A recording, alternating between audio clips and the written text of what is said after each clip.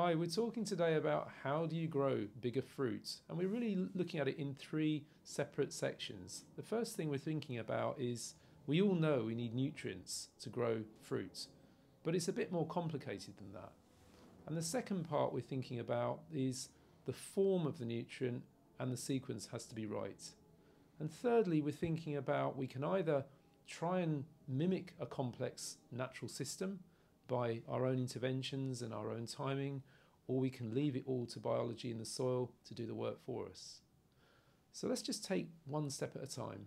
First of all, the fruit size in the orchard is determined by a series of nutrients, and these nutrients are effectively calcium and potassium, with help from zinc and also boron and manganese.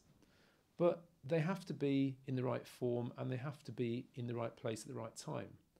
And the easiest way of getting that there is to make sure that the calcium comes into the plant in the autumn through the roots and is taken up and ends up in the fruit buds to be ready before the fruit buds open and they're pollinated. And what that does is it makes sure that there is enough calcium to start to grow an embryo uh, of sufficient size. The more calcium that's in that embryo in the spring, the larger the number of cells, and therefore ultimately the bigger the fruit can grow. But there's a problem because calcium and another nutrient, potassium, which is also very important, are antagonistic. And if the potassium is in the fruit bud over winter, it has a habit of occupying a lot of the space and it doesn't like the calcium to be there. So ultimately, you get small fruits, and there's not much you can do about it if you haven't got the calcium there in the first place. So to prevent that potassium happening, that, that arrival of potassium happening over winter, you rely on the input of manganese from the soil. And if you've got enough manganese in the soil, that manganese will downregulate the potassium uptake over winter and prevent the potassium being a problem once the, the embryo is developed after a few weeks, two or three weeks in top fruit, in apples and pears, etc., the potassium can then come in through the soil, uh, through the root system, and from the rest of the plant and start to grow that fruit successfully for the rest of the season, providing succulence, flavour, um, keeping qualities, and all of the rest of it. The calcium's there as well, providing its share of um, its effects as well. So things like bitter pit are avoided, or blossom end rot on things like tomatoes, if we were talking about tomatoes.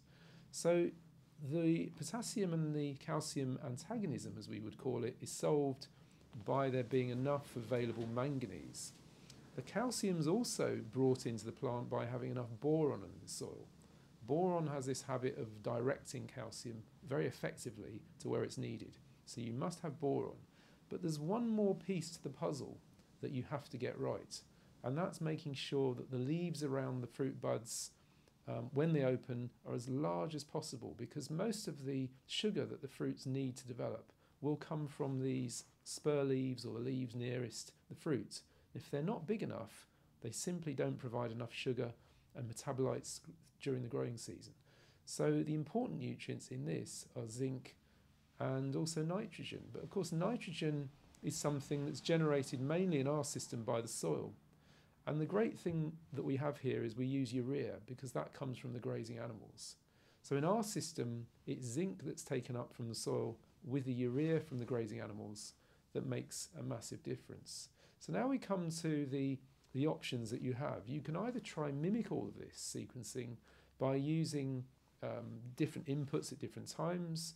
You can try spraying different things, perhaps calcium sprays on leaves, perhaps zinc, but particularly calcium isn't taken up very well through leaves during the growing season. It's much more effective if it comes in through the root system through the winter. So you have to put the calcium in in the autumn. If you put lime on the ground, lime has quite an oxidizing effect. And although there is a lot of calcium already in the soil, calcium carbonate can be quite destructive to soil um, long term if you over if you over lime. So we don't use lime. So the way we resolve this problem is we rely on the biology of the soil to sort out the sequencing, to get the timing right, and to work with the grazing. So our system is quite basic. We have grazing sheep which come in in the autumn, roughly 50 days uh, at the end of November. Then we apply our first application of rock dust, um, which the basalt rock dust that we use has all the trace elements and some calcium and magnesium, potassium, and that makes sure we have the zinc and the boron there as well. That is then taken up by the bacteria and the fungi, which are signaled by the plant during the winter and the spring as to what they need. It's all brought in at the right time in the right form, the non oxidized form. Then we have some more grazing, um, and then um, in the spring, and also some more rock dust. So we have a sequence going through the winter. And then by the spring, the plants are fully able to form their large fruits. And that regenerative system is very cheap to run, it's very good for the soil biology, and it's the system that we like to rely on here.